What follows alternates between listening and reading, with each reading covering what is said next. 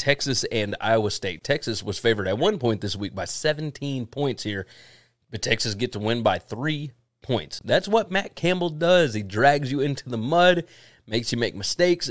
Incredible coaching job from Campbell to even have a shot in this ball game because as far as talent goes, yeah, Texas way, way, way out ahead of them. But that's what that's what they do, right? That's what ends up happening. Um, 82 Atlantic jumps in. What record does Mike know? You know what? We're going to talk about that in just a minute. So, uh, the next game, we're talking about Clemson. So, uh, Texas in this situation did not look good early, right? They were down seven to nothing early. They came out in that second quarter. They scored two touchdowns. They looked like they had taken back control of this game. Came out in the third quarter, only managed to kick a field goal. Uh, Iowa State was able to score points. Like that's in the second half, they figured out a way to score on this Texas defense.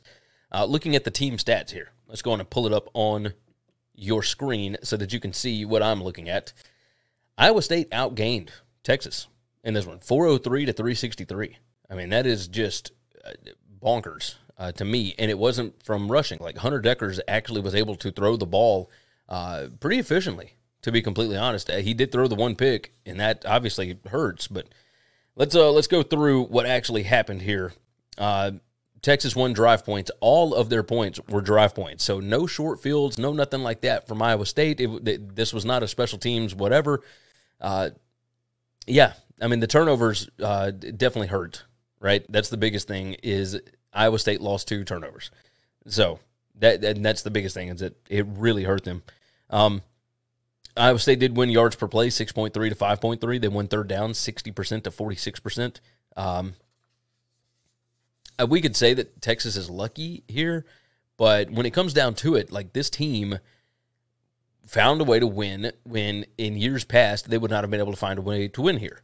Uh, Quinn Ewers in this the the typical numbers: uh, 17 out of 26, 172, three touchdowns.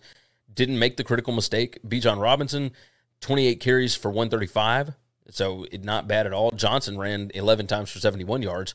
Uh, just just nuts. So yeah, Dekkers, on the other hand, uh, really impressive. I mean, he he himself led the team as far as rushing yards go, eight carries for 30 yards. He was 25 out of 36, 329 yards, two touchdowns, one interception. You look at the play by play, this thing got squirrely in the second half. Missed field goal. Um, they did score two touchdowns, and then they get down there and they fumble.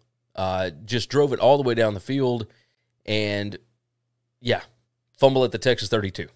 And that, that ended the game effectively. Texas was able to run out the clock. There were mistakes made by Iowa State. Uh, there were defensive mistakes made by Texas. That's that's the biggest way. So the turnover on downs early for Texas. Um, there's a lot of stuff that I might would have done differently if I were a Texas coach in this game. But the bottom line is, in zone six jumps in here. Texas didn't play well, but found a way to win. Texas stocks up. Yeah, uh, that's the biggest thing that I take away from this is, in years past, you would have found a way to lose this game. You're coming back home. The entire world is telling you how fantastic you are, and you lose to a team like Iowa State. That is a very formidable opponent, even if they are now 0 4 in the conference.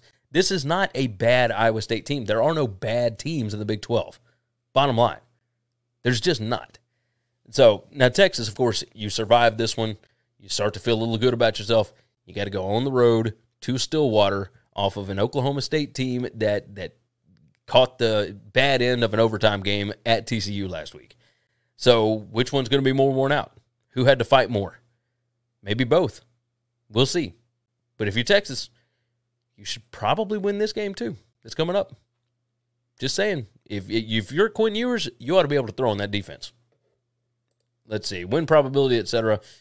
Yeah, this was a ugly game, ugly game, but Texas found a way to win. So cheers to them. Cheers to Iowa State for fighting like they did. Pretty awesome stuff. Pretty awesome stuff. Thanks for listening to Winning Cures Everything. Make sure and subscribe on YouTube or your favorite podcast app, and make sure to leave a nice five star review. You can follow Gary on Twitter at GaryWCE, and the show is at Winning Cures. Be sure to check out the merch in our web store and share the show.